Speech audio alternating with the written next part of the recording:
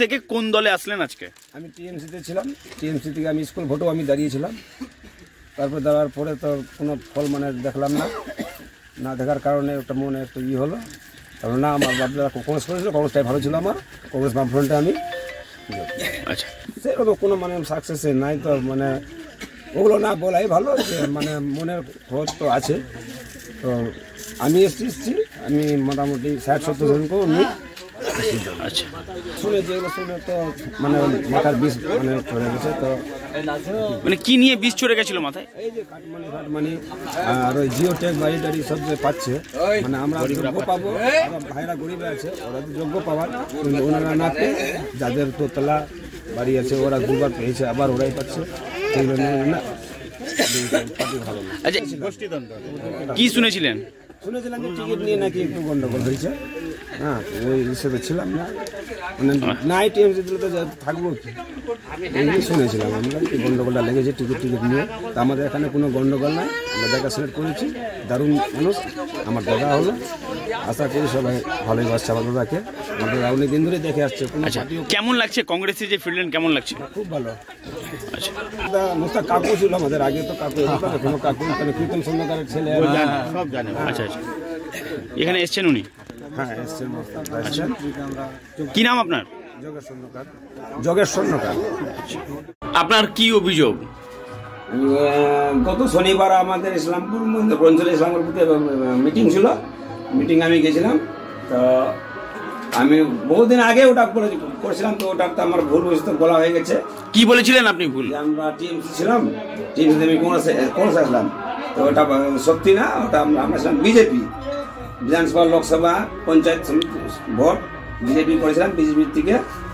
তো আমি সেদিন কংগ্রেস মিটিংয়ে গেছিলাম। ওটা ভুল বুঝাবুঝিতে আমি বলে বলে দিয়েছি ওটা। পেশাব থেরাটে হয়তো বা বলে দিয়েছি আমি। হ্যাঁ তো এটা কি বলেছিলেন আপনি? আমি বলেছিলাম যে আমাদের মিটিংয়ে ইসলামপুর বুথে প্রায় টিএমসি থেকে এক দেড়শো থেকে দুশো লোক আমাদের টিএমসিতে এসছে। তো এটা কি সত্যি ছিল? না না না। কি ছিল? সত্যিটা কি ছিল? এটাই ছিল যে যেটি বিজেপি ছিল সেই কোটা কর্মী ওখানে ছিল মিটিংয়ে। কতজন ছিল? আমাদের বুথে প্রায় কুড়ি পঁচিশ জন ছিল বাকি আদার্স বুথের সবগুলো ছিল। হ্যাঁ। আর এটা তো ভুল হয়েছে আমার তো মানে মিস্টেক আমি জিরো বলেনি। আর মানে বহুদিনের আগের গল্পটা আমি ওখানে বের করে দিয়েছিলাম। ওটা বলেছিলাম যে আমি স্কুল কোর্টে দাঁড়াইছিলাম মোটামুটি গেল বারো বছর আগে। কেউ কি চাপ দিয়ে বলিয়েছিল আপনাকে?